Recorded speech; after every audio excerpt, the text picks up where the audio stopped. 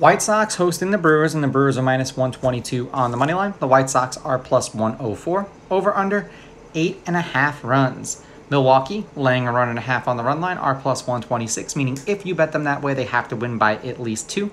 And Chicago getting a run and a half on the run line are minus 152, meaning if you bet them that way and they win this game outright, you win. They lose by one, you would win. Now, these are the overnight odds. They're going to change the closer we get to first pitch tomorrow. And whatever picks I make are based off of the pitchers that you see listed above me.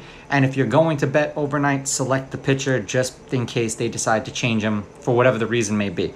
Now, either neither one of these pitchers have pitched against the opposing team last year or this year. The Brewers have won Peralta's last three starts. They are six and four in his last ten. He's averaging five and two thirds innings pitched and 8.1 strikeouts per game in those games. In his last five, they are four and one. Like I said, they've won his last three. The over has hit in his last two starts, and the over is three and two in his last five starts. One earned run, 13 strikeouts, three earned runs, seven strikeouts, no earned runs, 13 strikeouts, six earned runs, five strikeouts, no earned runs, six strikeouts. He's got an ERA of two, and he's averaging six innings pitched in his last five starts. For the White Sox, they are four and six as a team in Cease's last 10 appearances. He's averaging five innings pitched and 6.9 strikeouts per game in those games. It just seems like he's my kryptonite because he gets hot and then I start picking with him, and then once I pick with him, he starts losing.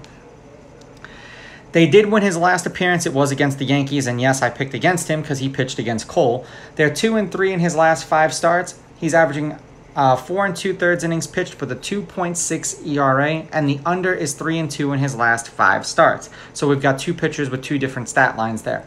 No earned runs, six strikeouts, seven earned runs, one strikeout, four earned runs, five strikeouts, and then back to back games with one earned run, striking out nine, and striking out six.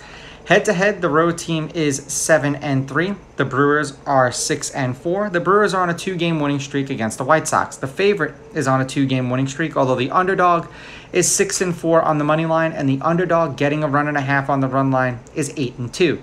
There have been four one-run games in their last ten meetings, including the two games that they played against each other this year.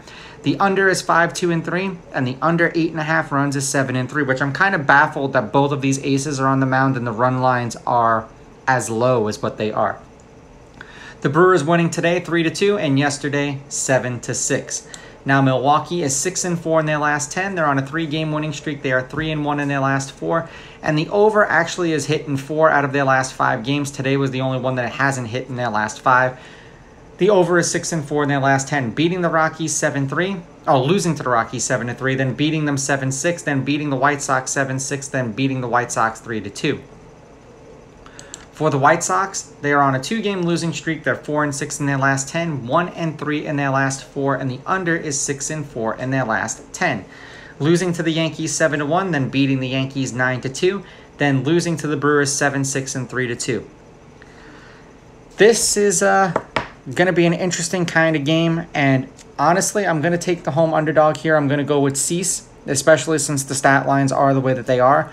I'm going to take Chicago with the money line. I'm going to take Chicago getting the runs, and if they win this game, it's probably going to be under. These are just my picks. If you disagree, please go with your gut, and please bet responsibly.